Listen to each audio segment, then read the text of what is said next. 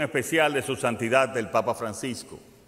Su excelencia reverendísima Monseñor Pier Giorgio Bertoldi, nuncio apostólico de su santidad y decano del cuerpo diplomático. Excelentísimos señores, jefes de misiones especiales y de organismos internacionales, miembros del cuerpo diplomático y consular acreditados en el país. Señores miembros del bufete directivo de la Asamblea Nacional, honorables magistrados de las altas cortes, Excelentísimo señor Hipólito Mejía, expresidente de la República. Excelentísima señora Milagros Ortiz Bosch, vicepresidenta de la, ex vicepresidenta de la República. Y mi madre, Zula Corona, viuda Binader, que está aquí presente. Señores ministros y funcionarios del gobierno, asambleístas, autoridades civiles y militares, invitados especiales, distinguidos señores de la prensa, señoras y señores, pueblo dominicano. Comparezco ante esta Asamblea Nacional para juramentarme como presidente constitucional de la República Dominicana para un nuevo periodo de gobierno como establece nuestra Constitución y nuestras leyes.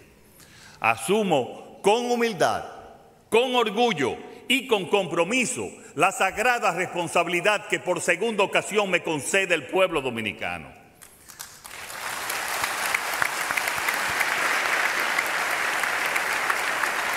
Me siento profundamente honrado de tomar juramento después de un proceso electoral ejemplar en el que los dominicanos y dominicanas manifestaron libremente su voluntad y demostraron una vez más la madurez democrática que hemos alcanzado como nación.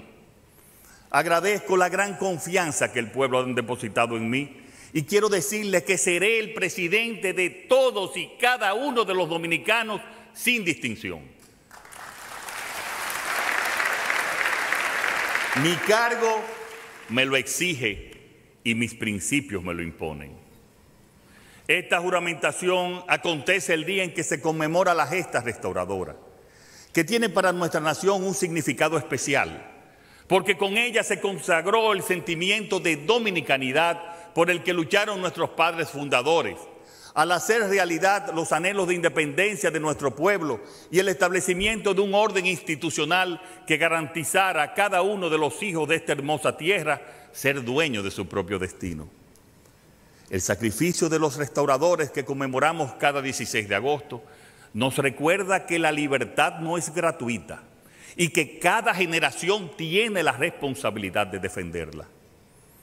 La verdadera fortaleza de una nación reside en los hombres y mujeres que la forman.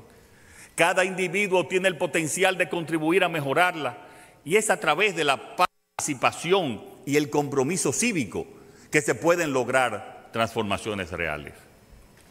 Hoy es el día que recordamos algunos de los grandes nombres, como el de Gregorio Luperón, como el de Pedro Antonio Pimentel, José Contreras, Gaspar Polanco, Santiago Rodríguez y muchos otros, hombres y mujeres que lo dieron todo por la restauración de nuestra independencia. Pero sobre todo hoy es el día de recordar al más importante héroe de nuestra historia, el gran restaurador, el pueblo dominicano.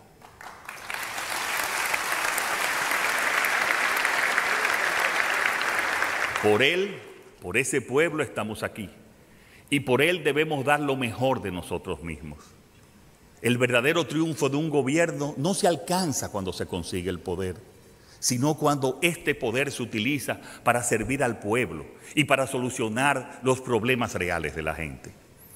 El proyecto de nación que encabezo y que en estos cuatro años continuaremos profundizando tiene un carácter abierto e integrador y cuenta con la participación de todos para alcanzar un futuro de prosperidad, libertades y justicia social para el pueblo dominicano. Este gobierno es el resultado de una vocación democrática que desde sus inicios viene luchando decididamente por el buen uso de los fondos públicos y que es incompatible con la corrupción. Y quiero subrayar que vamos a profundizar nuestras acciones de prevención de la corrupción y por la transparencia para seguir protegiendo el dinero del pueblo dominicano.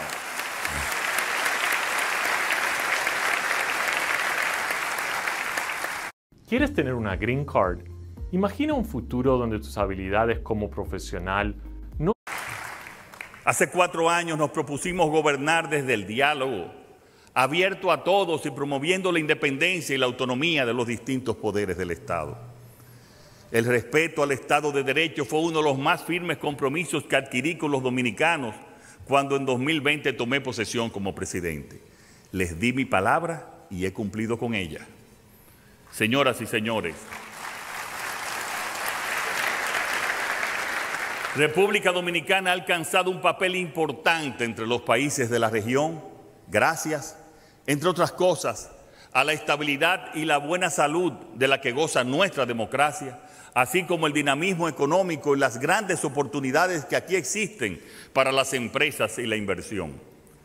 Desde nuestra llegada al gobierno, comenzamos a trabajar para lograr las transformaciones que necesitaba el país, a la vez que abordamos las muchas dificultades que nos han presentado en forma de crisis. Siempre lo he dicho, lo urgente no nos ha impedido hacer lo importante. La determinación del gobierno dominicano de no dejar a nadie atrás se ha mostrado en todas las acciones que hemos desplegado con el fin de proteger las fuentes generadoras de empleos y crear más oportunidades para nuestros ciudadanos. El crecimiento económico que experimenta República Dominicana ha alcanzado números envidiables, como los registrados en los años 2021, 2022 y 2023, cuando el Producto Interno Bruto tuvo un notable aumento promedio del 6.5% anual, muy por encima de la media de la región y las previsiones de los organismos internacionales como el Fondo Monetario Internacional sitúan nuestro crecimiento para este año en el 5.4%, muy superior al 1.9% proyectado para este 2024 en la región.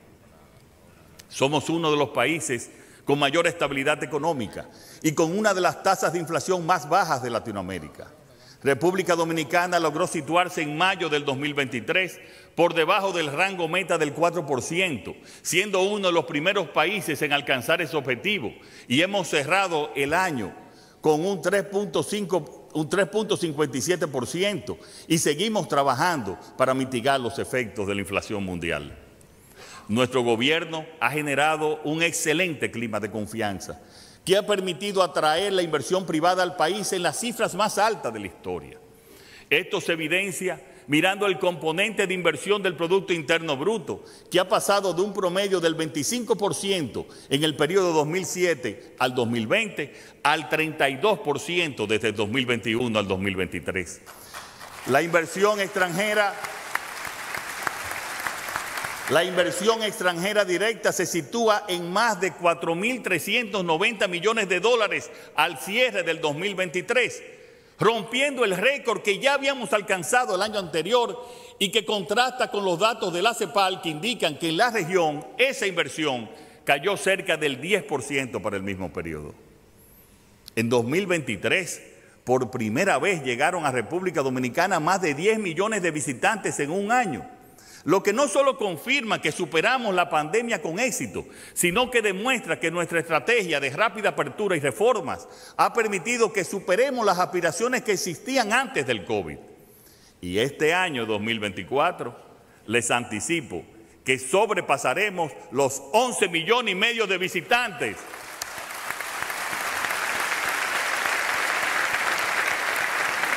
Lo que nos consolida como el segundo país más visitado de Latinoamérica. La fortaleza del turismo y otros sectores nos permitieron cerrar 2023 con el nivel de reservas internacionales de divisas más alto de la historia, con 15.457 millones de dólares.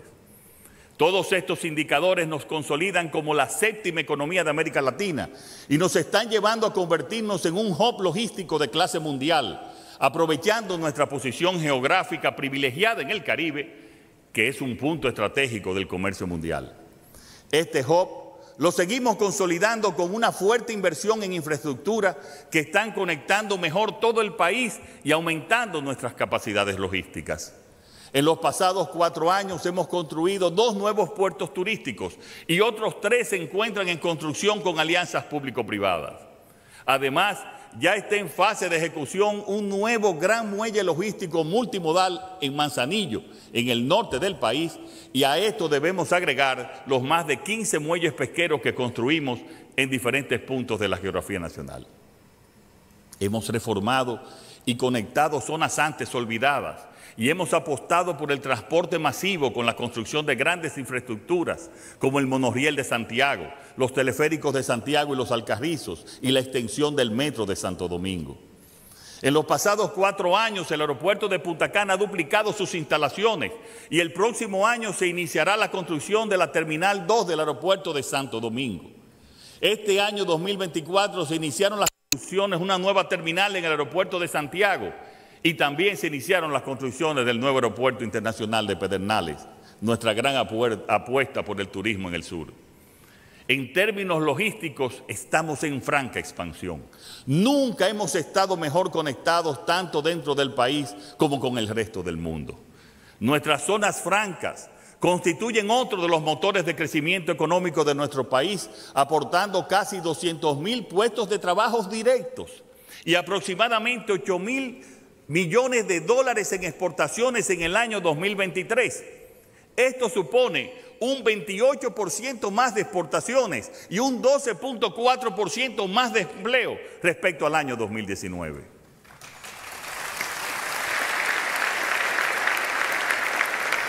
Y no solo exportamos más, sino que también exportamos mejores bienes de alta, mejores bienes de alta tecnología, como los dispositivos médicos y equipos electrónicos y otros componentes de alto valor agregado.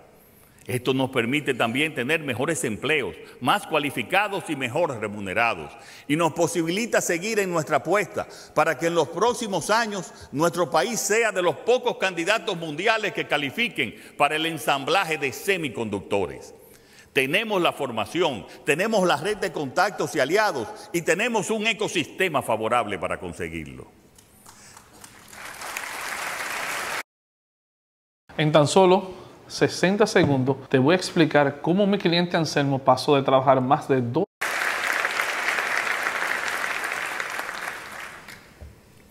Pero estas cifras económicas no serían por sí solas importantes si no tuvieran un claro reflejo en la vida de la gente.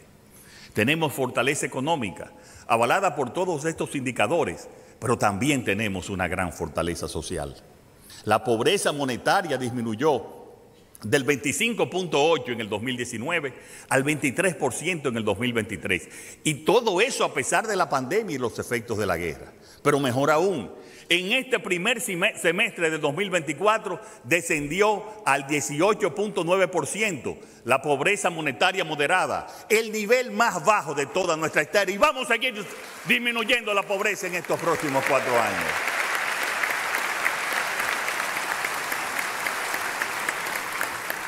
Estos resultados son consecuencia, por un lado, de una política económica efectiva que ha generado confianza para las inversiones y ha creado empleos y oportunidades, y por el otro, del fortalecimiento de los programas sociales del gobierno, como el programa Supérate, que hemos rediseñado, añadiendo el bono de emergencia, duplicando el monto de la ayuda alimentaria y aumentando los subsidios de gas y de electricidad, lo que ha beneficiado a un millón y medio de familias.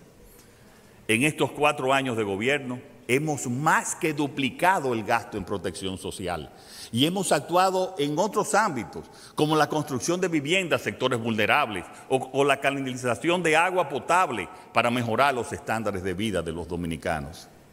En términos de alimentación, la República Dominicana, según los datos de la Organización de las Naciones Unidas para la Alimentación y la Agricultura, FAO, ha logrado disminuir el porcentaje, el porcentaje de población subalimentada del 8.3% en el periodo 2018-2020 al 4.6% en el periodo 2021-2023. Es decir, en ese tiempo hemos reducido la subalimentación en un 45%. Y en lo que respecta al empleo, en nuestro país tenemos hoy un récord de trabajadores activos en el mercado laboral y el desempleo se ha reducido durante los últimos tres años hasta situarse actualmente en, un, en el 5% y nos referimos al desempleo abierto. Además, el salario mínimo promedio ha crecido en un 14% por encima de la inflación, mejorando así el poder de compra de los trabajadores dominicanos. No es casualidad, por tanto, que República Dominicana se encuentre hoy en la categoría de desarrollo humano alto en el índice de las Naciones Unidas y que en los últimos años seamos de los pocos países en el mundo que han escalado posiciones. En el 2023, el Producto Interno Bruto per cápita de la República Dominicana alcanzó 11.200 dólares, consolidándonos como una economía de ingresos medios. Queridos amigos, no existe una fórmula mágica del éxito, pero sí tenemos una receta simple para conseguirlo. Por un lado, promover y apoyar la inversión privada que cree empleos y crecimiento económico, y por el otro, un gobierno que fortalece la institucionalidad, la honestidad y la eficiencia en el uso de los fondos públicos con una gran inversión social.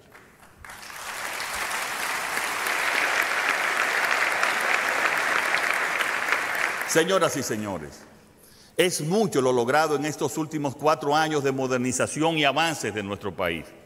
Pero estamos solo ante el inicio del ambicioso plan de reformas que seguirán cambiando esta nación. Como manifesté al principio de mi intervención, si hoy estoy aquí, es fruto de la decisión libre y democrática del pueblo dominicano. Un pueblo que cree en la democracia, donde todos somos importantes, pero en el que nadie es imprescindible ni está por encima de la Constitución y nuestras leyes.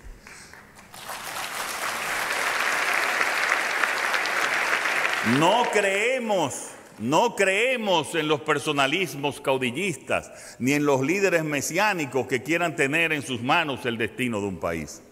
El futuro de los dominicanos es solo nuestro y lo decidimos entre todos. En democracia siempre lo he dicho, el cargo público más importante es el del ciudadano. Es quien tiene el poder compartido de elegir nuestro futuro. Cada generación tiene su derecho de elegir y ser elegida. Por eso creo que no hay mayor acto que un gobernante pueda hacer para fortalecer la democracia que autolimitarse en el ejercicio del poder.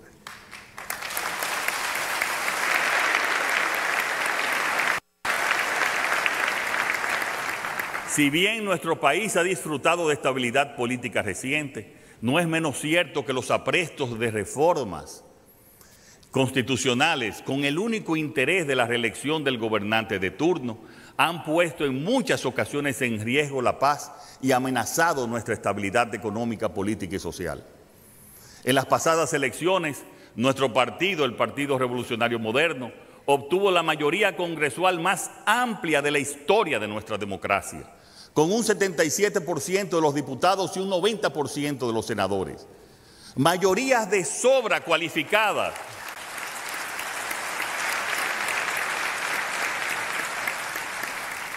mayorías de sobra cualificadas para emprender cualquier reforma y en cualquier sentido.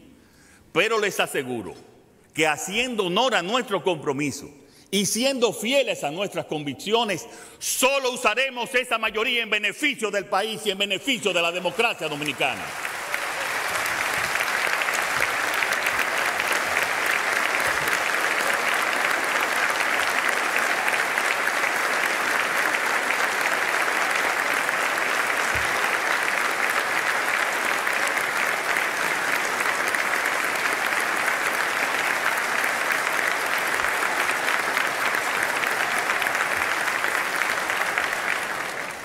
Por eso, el próximo lunes 19 estaré presentando al Poder Legislativo el anteproyecto de ley que convoca a la Asamblea Revisora para introducir en nuestra Constitución el blindaje que imposibilite que ningún gobernante en el presente ni en el futuro pueda eternizarse en el poder más allá de los dos periodos que hoy contempla nuestra Constitución.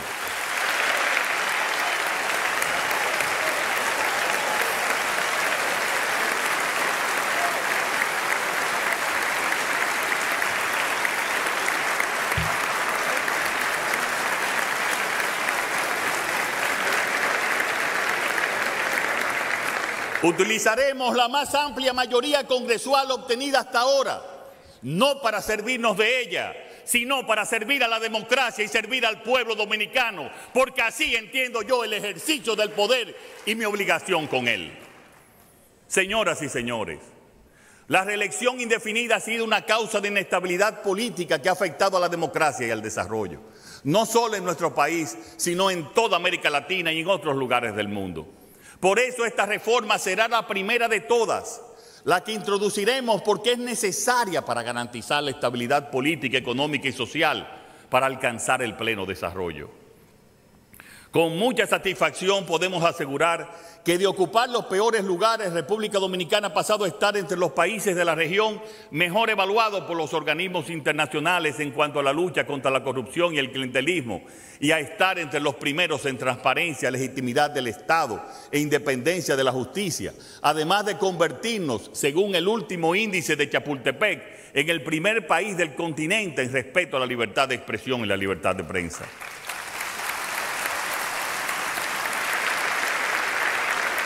Justamente las reformas que estamos emprendiendo en este periodo de gobierno están dirigidas a profundizar en la calidad de nuestra democracia, haciendo nuestras instituciones más eficientes y austeras y garantizando la independencia y la separación de poderes. Y por eso también consagraremos en la Constitución un mecanismo de elección del Ministerio Público Independiente que lo consolide como una institución que ejerza sus funciones sin injerencias políticas y con imparcialidad para luchar contra la impunidad que nos ha debilitado como democracia en el pasado. La independencia del Ministerio Público, que impusimos como convicción propia estos últimos años, ahora será una obligación constitucional.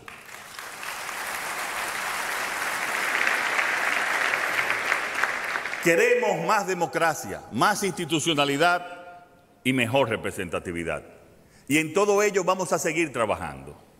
Señoras y señores, este será un periodo de transformaciones que seguirá cambiando la República Dominicana. A la reforma constitucional seguirán otras reformas de gran trascendencia encaminadas a fomentar el bienestar de nuestros ciudadanos y a sentar las bases de un desarrollo sostenible para nuestro país.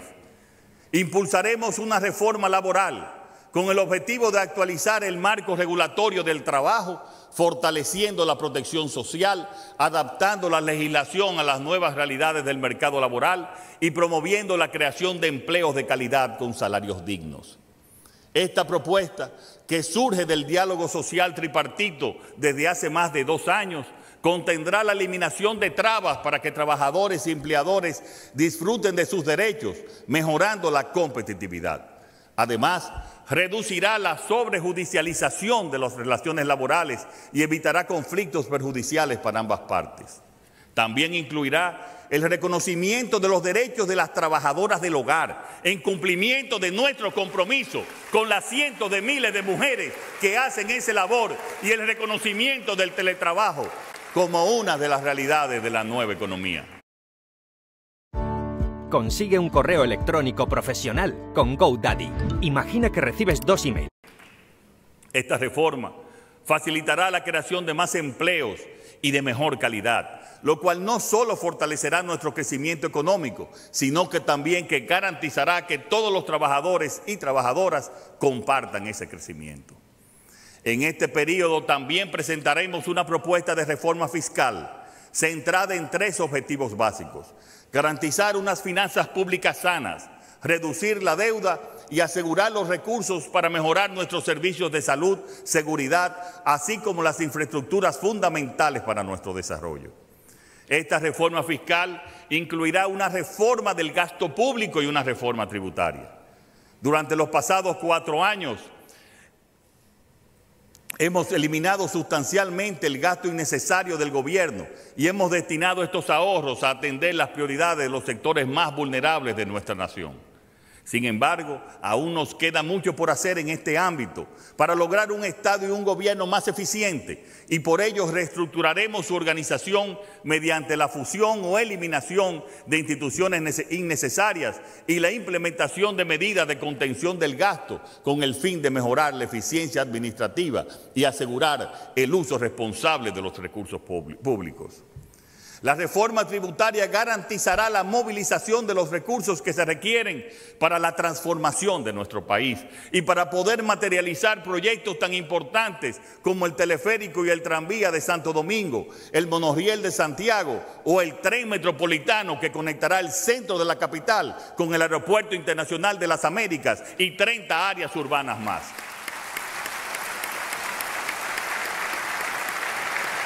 También nuevos acueductos y sistemas de drenaje para el Gran Santo Domingo y otras ciudades importantes. Otra parte de los recursos de esta reforma será destinada a aumentar las asignaciones presupuestarias de nuestros ayuntamientos para que puedan mejorar los trabajos de recogida de factura, ejecutar las obras demandadas también por sus municipios. La descentralización del gasto.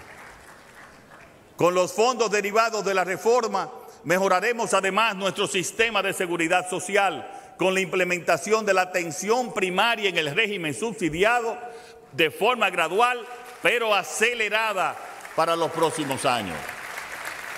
Y dedicaremos también parte de los recursos que vamos a obtener a aumentar la seguridad ciudadana de los dominicanos y dominicanas. Nuestra lucha contra la delincuencia ha sido clara en estos cuatro años y vamos a seguir trabajando en esa dirección. En el año 2022 la tasa de homicidios en nuestro país fue de 13.2 por cada 100.000 habitantes. En el 2023 bajó a 11.5 y en el acumulado lo que llevamos del 2024 se sitúa en 9.9. Esta tasa está por debajo del promedio de Latinoamérica y del Caribe, que asciende a 17.2, según los datos de Naciones Unidas o de Inside Crime, que muestra que nuestro país registró el segundo índice de homicidios más bajo de todo el Caribe el año pasado. No obstante, todavía la consideramos alta y seguiremos trabajando para disminuirla. Para hacer del nuestro un país más seguro, necesitamos una policía que proteja, que dé ejemplo y que esté al servicio de los ciudadanos, actuando siempre con absoluto respeto a la ley. La transformación de nuestra policía, que ya ha comenzado, y que es uno de nuestros principales objetivos para los próximos cuatro años, busca no solo mejorar la capacitación de nuestros agentes y dignificar su trabajo y sus condiciones, sino también fortalecer los lazos de confianza entre la ciudadanía y la institución encargada de velar por nuestra seguridad. Para trabajar en su formación, dimos apertura a la Escuela de Entrenamiento Policial Campus Gaspar Hernández, con capacidad para preparar 4.000 agentes al año. Esta nueva escuela es sin duda alguna la mejor en la historia de nuestra policía. Más de 3.000 policías en todo el país ya han sido capacitados en cursos de derechos humanos y convivencia, ciudadana en 13 universidades desde la puesta en marcha de nuestro plan de transformación. Estos próximos cuatro años conseguiremos capacitar a 20.000 policías más. Además, de acuerdo con nuestro compromiso de dignificar las condiciones laborales de nuestros policías. El año 2023 se aplicaron subidas en todos los escalafones del cuerpo y conseguimos cumplir con el objetivo salarial que nos habíamos marcado aquí hace cuatro años. En este periodo, por ejemplo, hemos aumentado un 126% el salario de un cabo y un 142% el salario de la policía, de un raso de la policía. Pero la transformación de nuestra policía es solo una parte de nuestra búsqueda de un país más seguro y por ello seguimos trabajando también, no solo en la persecución del delito, sino en la creación de oportunidades para nuestros jóvenes y en el fomento de una cultura de paz, para lo cual nuestra arma más poderosa, como la de cualquier sociedad, es siempre la educación. Y este gobierno ha hecho una apuesta para la de nuestro sistema educativo que ya está dando frutos y que vamos a continuar mucho más. En los últimos cuatro años hemos, adicionales, hemos adicionado nuevos planteles escolares que permiten atender de manera digna y segura un total de 65 mil estudiantes más para la jornada escolar extendida. Y hemos remozado más de 6.400 planteles públicos con una inversión superior a los, a los 11.800 millones de pesos. Pero nuestro mayor logro ha sido el avance en la educación inicial. La educación inicial de 3 a 5 años. A nuestra llegada al gobierno, la tasa de cobertura para ese nivel era de un 36% y tres años después hemos conseguido pasar al 64% con la incorporación de miles de niños y niñas de las familias más humildes de nuestro país. En estos próximos cuatro años haremos un especial esfuerzo en la formación de nuestros docentes que son la base de un buen sistema educativo, como lo hemos hecho actualmente, multiplicando por cuatro el entrenamiento permanente de nuestros profesores. Necesitamos educadores que no solo conozcan la materia que enseñan, sino que también dominen las metodologías más efectivas para transmitir ese conocimiento y conectar con cada uno de sus estudiantes. Un maestro preparado es un maestro transformador que tiene el poder de sembrar en cada niño la, en cada niño la semilla del pensamiento crítico, de la creatividad y de la empatía. Tenemos que apostar por un nuevo modelo de excelencia en la formación y elección de nuestros maestros. La revolución más importante y los cambios más grandes que veremos en el futuro se darán en las aulas de todo el mundo. Y a nuestro país también llegará esa revolución. No llegaremos tarde. Esta vez debemos estar entre los primeros. Y por eso vamos a seguir mejorando. Acabo de encontrar el sueño de todo aficionado a la tecnología, un smartwatch con audífonos integrados. Por eso vamos a seguir mejorando las condiciones de nuestros estudiantes, aumentando la dotación de libros de textos y otros recursos de aprendizaje, con la entrega de 12 millones de textos este año y ya hemos conectado al 72% de nuestras escuelas y liceos públicos a Internet de banda ancha para facilitar la educación híbrida, con 15 mil docentes ya formados en el uso de estas tecnologías. Además, seguiremos promoviendo el, enfoque STEAM para que nuestros alumnos estén formados en ciencias, matemáticas, tecnología y artes y fomentaremos su participación en competencias nacionales e internacionales. El gobierno ha hecho en los pasados cuatro años un esfuerzo muy grande para garantizar la movilidad de nuestros estudiantes con la puesta en marcha del sistema de transporte escolar TRAI, que ya traslada de forma segura a la mitad de los escolares entre sus casas y las escuelas. Y a finales de este año 2024, este sistema llegará a la totalidad de nuestra población escolar.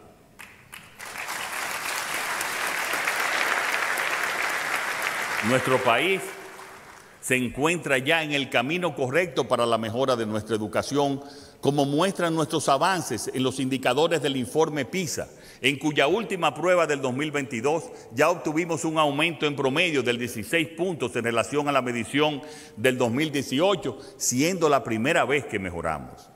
De 81 países participantes, solo 11 experimentaron mejoras en comparación consigo mismo en el ciclo 2018-2022 y de estos únicamente dos pertenecen a América Latina, República Dominicana y Panamá.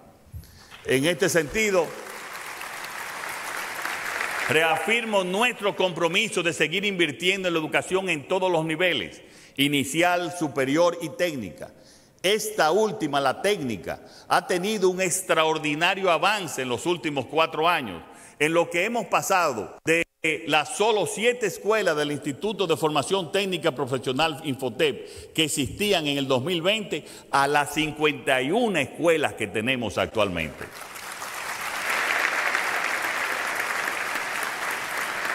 Estamos garantizando que cada región de nuestro país, sin importar su ubicación geográfica o su condición económica, disponga de las herramientas para que nuestros ciudadanos puedan seguir aprendiendo, creciendo y prosperando.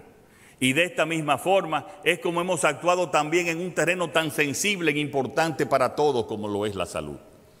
En los últimos cuatro años logramos incorporar al Seguro Público de Salud a 2.400.000 dominicanos que no lo tenían, alcanzando un 97.3 de la población que ya cuenta con cobertura. Hoy tenemos Hoy tenemos el mayor presupuesto de salud de nuestra historia y prácticamente todos los dominicanos cuentan con un seguro familiar de salud. Este gobierno ha inaugurado 54 hospitales, algunos nuevos, otros reconstruidos, ampliados y equipados, y 583 centros de atención primarias, tanto remozados como de nueva construcción. Y el próximo año 2025 entregaremos tres nuevos hospitales traumatológicos de tercer nivel ubicados en Asua, Sosúa e Higüey Además de una unidad de trauma con más de 60 camas en el Hospital San Vicente de Paúl en San Francisco de Macorís y adicionaremos a esta red el Hospital Traumatológico de San Cristóbal, cuyos trabajos quedaron iniciados en julio pasado.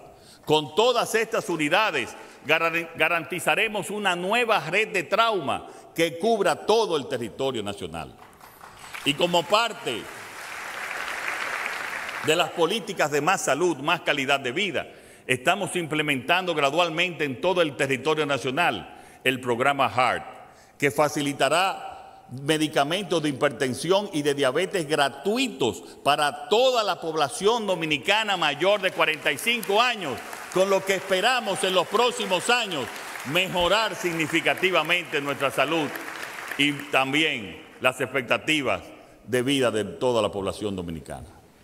Garantía de salud para todos, de calidad y en todos los rincones del país. En eso hemos trabajado y en esa dirección continuaremos. Señoras y señores, como ven, todas las iniciativas que queremos desarrollar en estos próximos años buscan seguir mejorando la calidad de vida de los dominicanos y con esa misma ambición vamos a presentar la propuesta de reforma de nuestro sistema de seguridad social. Hace 23 años que nuestro país adoptó este importante sistema de protección social dando un paso valiente en la dirección correcta. Antes de eso, menos del 15% de los dominicanos se beneficiaba de algún tipo de pensión y menos del 20% disfrutaba de un seguro de salud y riesgos laborales. Hoy prácticamente toda la población dominicana cuenta con el resguardo del seguro familiar de salud y toda la población laboralmente activa en la formalidad cuenta con derechos previsionales medibles. Sin embargo, ese valiente paso dado hace dos décadas ha esperado que los gobiernos sucesivos lo mejoren en base a la experiencia. Nuestro gobierno, luego de diálogos constantes, presentará en este año 2024 la propuesta de reforma del sistema de seguridad social que estará encaminada a fortalecerlo y proporcionar certeza, garantía y calidad de atención y beneficios a los dominicanos y dominicanas. En materia de salud, en materia de salud proponemos ampliar la cobertura de atención para que más dolencias puedan ser cubiertas, reduciendo o eliminando el gasto de bolsillo de la población. También proponemos la cobertura de seguro de salud a los pensionados, quienes son los que más lo necesitan. En materia de pensiones estamos comprometidos con una reforma que fortalezca, mejore y dé tranquilidad a nuestra población para que cuente con la garantía universal de pensiones dignas. Señoras y señores, nuestro país tiene las condiciones óptimas y la agenda de reformas necesarias para poder duplicar su economía en los próximos años. Y nuestra meta RD 2036 de alcanzar el desarrollo pleno no busca solo crecer, algo que hemos hecho bien en los últimos años, sino hacerlo de una manera que beneficie a más gente, genere más empleos de más calidad y nos permita mejores servicios públicos acelerar el crecimiento promedio anual del PIB al 6%, que es la tasa necesaria para que se duplique en 12 años nuestra economía, requiere un conjunto de transformaciones importantes que estamos decididos a realizar. Y una de ellas es la del sector eléctrico, que debemos hacer más eficiente, confiable y competitivo.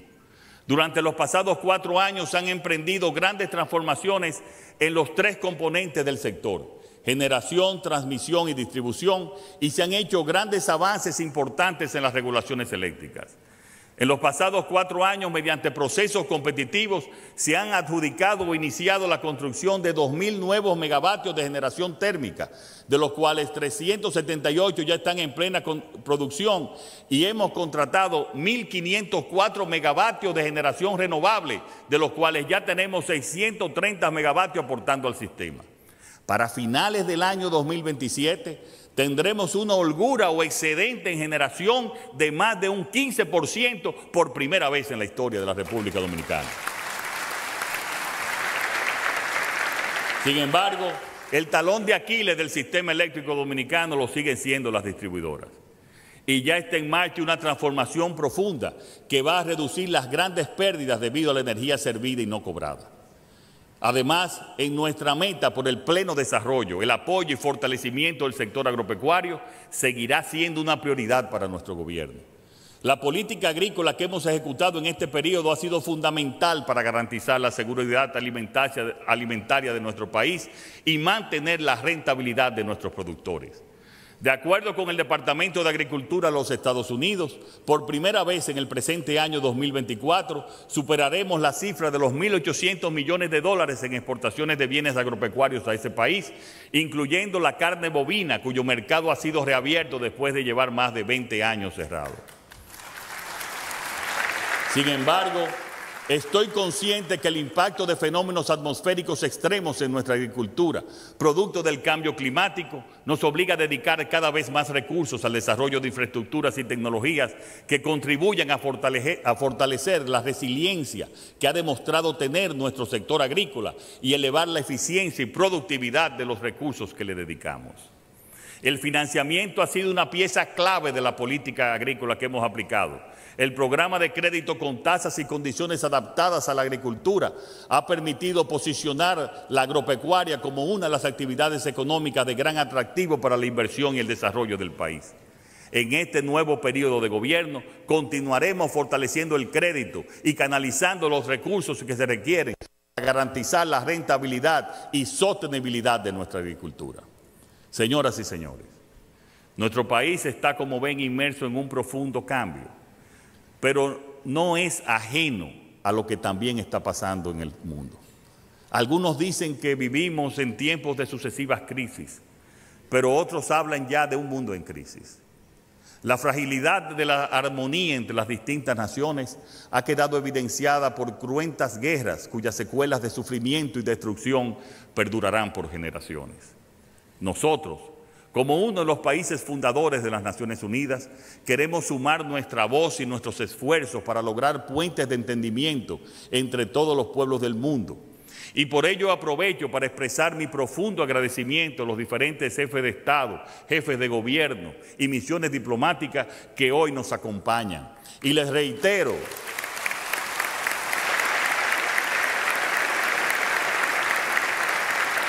Y les reitero el compromiso de la República Dominicana con los valores de la paz, de la colaboración y de la convivencia.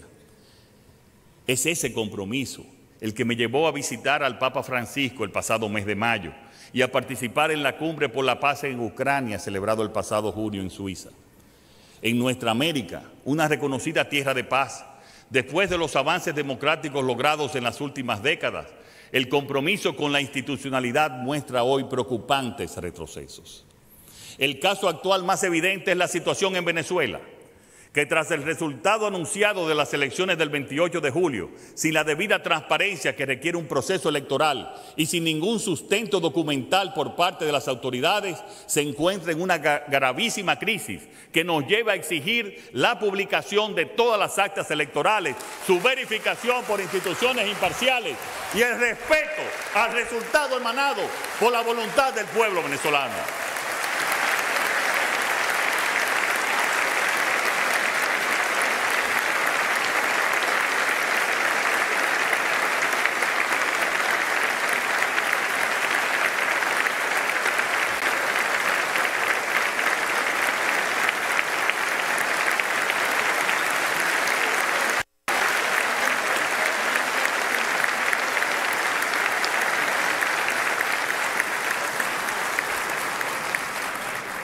Resultan altamente condenables los atropellos contra las instituciones democráticas y el uso de la violencia política que estamos observando en Venezuela.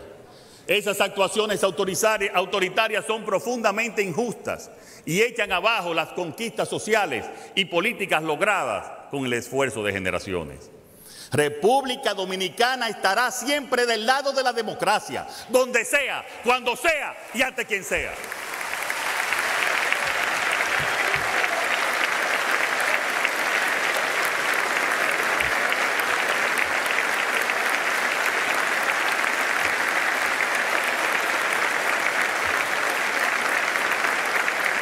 Y es desde esos principios que hemos seguido trabajando respecto a las crisis políticas y social que vive nuestro vecino país Haití.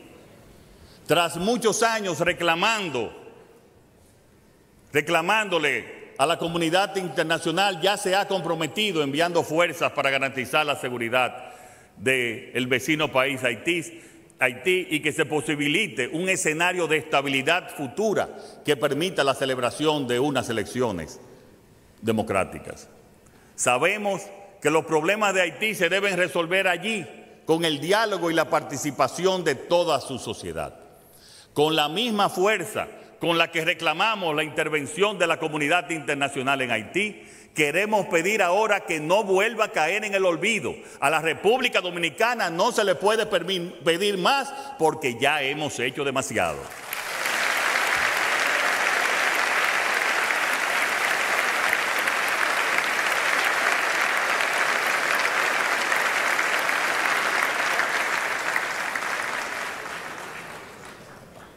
Permítanme una última reflexión para terminar. Este acto de juramentación, además de dar inicio formal a un nuevo periodo de gobierno, debe de cumplir un propósito más trascendental.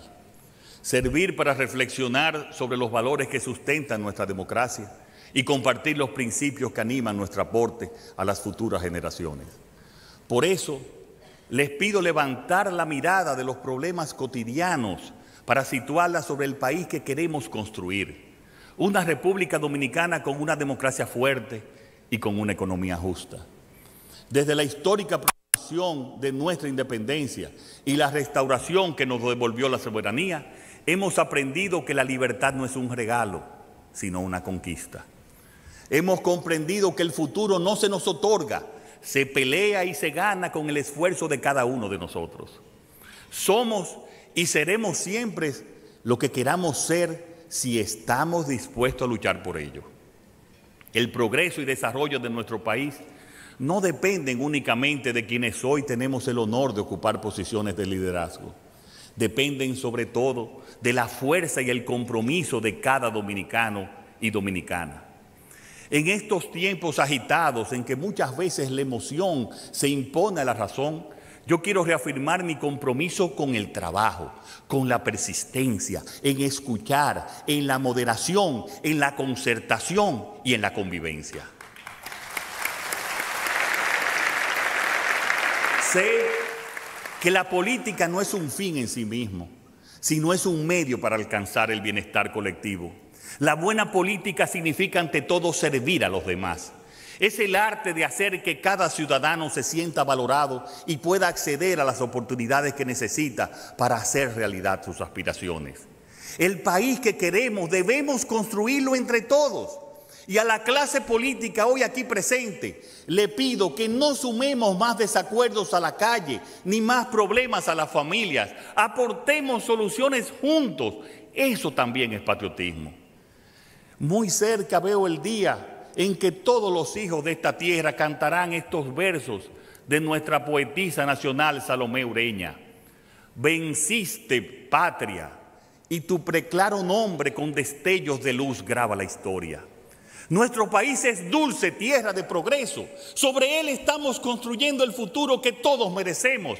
Tierra que nuestros padres nos legaron. Tierra que nosotros conservamos. Tierra de orgullo y esperanza. Tierra en la que sembraremos desarrollo, justicia y paz. Sí, Sí, señores, la República Dominicana será una gran nación y todos viviremos esa realidad. Ese será el día en que las alturas de la cordillera central alumbrarán desarrollo, alumbrarán desarrollo las tierras vírgenes de Pedernales y nuestro querido sur, alumbrarán desarrollo las lomas verdes de Samaná, alumbrarán desarrollo las playas de la Altagracia y las costas de Cristi. Alumbrarán desarrollo los valles fértiles del Cibao. Alumbrarán desarrollo cada colina y cada montaña y cada pueblo y cada rincón de esta tierra bendita. Y cuando esto ocurra, cuando dejemos alumbrar el desarrollo, cuando lo impulsemos desde cada comunidad y cada paraje, desde cada provincia y cada ciudad, seremos capaces de apresurar la llegada de ese día en que todos los dominicanos hombres y mujeres, jóvenes y ancianos de todas las creencias y todas las procedencias serán capaces de unir sus manos y decir con orgullo, venciste patria, por fin prosperamos, gracias a nuestro esfuerzo colectivo, por fin alcanzamos el desarrollo. ¡Que viva la República Dominicana! ¡Que viva la República Dominicana!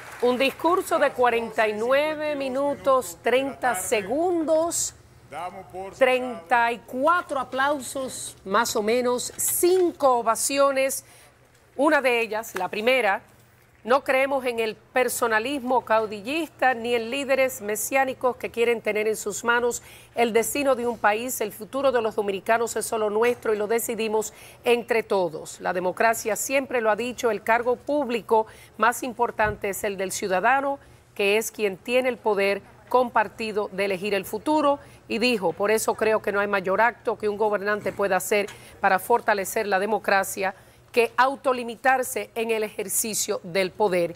A continuación, segunda ovación, solo usaremos esa mayoría en beneficio del país y de la democracia.